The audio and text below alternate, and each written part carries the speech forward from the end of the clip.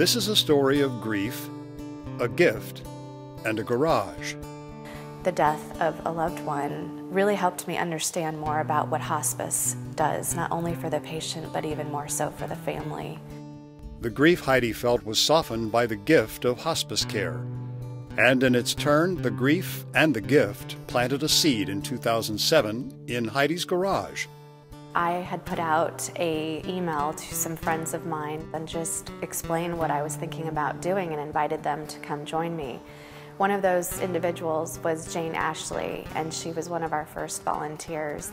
Jane loved flowers. We were really excited to be able to take these flowers and create bedside bouquets for hospice patients, offering just a simple random act of kindness that they weren't expecting that hopefully would brighten their day.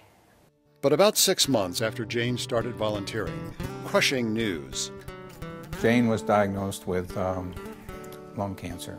The cancer was aggressive and treatment wasn't working. We were uh, then giving bouquets to Jane while she was in hospice care. Within just a few months, Jane died. Paul knew how much giving and then receiving flowers had meant to her. So after Jane's memorial service, Paul donated all of the flowers. That's what she would have wanted, okay, with those flowers to be donated. She always would say, oh, I'm so glad these flowers weren't born for nothing. You know, they get to be used again, they have a second life, and she really liked that. Marcy Paget had visited with Jane before she died, helped Paul with his grief. She too had lost a spouse. Soon, their friendship blossomed into something more. I found that I could love again. It was, uh, um, it was really magical. Paul called and said, Guess what? I'm getting married, and we'd love to gift you our wedding flowers. It would have been uh, almost a tragedy that something that beautiful would just um, not be appreciated even more than it was that day. It tells a story of something so full circle for us. Sarah Peterson at Partners in Care has seen how patients and their families react to these special deliveries. For some, they're the first flowers they've ever received getting flowers for the first time in the final stages of their life is such a gift. All the way to the other end where people have just enjoyed flowers their whole life, and this just kind of helps them on that continuum of enjoying fresh flowers. Hospice patient Bobby Davis says it best. I love flowers. It it's, makes you feel special. Katie Hartley is the former director of Hospice House and remembers well how much the flowers meant to patients. They were just thrilled. Even the men, they'd say, Oh, for me? Who's it from? They were just so interested. And some people cried and were just so touched. And it was just really, um, it was a gift to them that someone would care enough to make a bouquet just for them.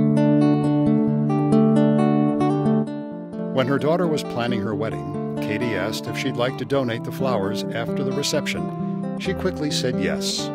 It was such a special, special day and time for our family, and the flowers were so beautiful. We wanted someone else to be able to enjoy them in a whole different way. The Bloom Project exists solely because of the generosity and compassion of the community. Everything is donated, from flowers to vases to the workspace. Volunteers arrange the flowers and make the deliveries. I think we're bringing care. I mean, attention. We're bringing um, uh, someone's thought of me. Everyone has stepped up and supported us in any way that they can, and it's wonderful to see. I think it's also been so gratifying to see that people understand how important it is to take care of, of our relatives, of our friends, of our neighbors, of our colleagues during this time and not forget them, that they still need the color and the smell and the life around them, even as they're getting ready to leave the world. The flowers bring a breath of fresh air. They bring happiness and joy.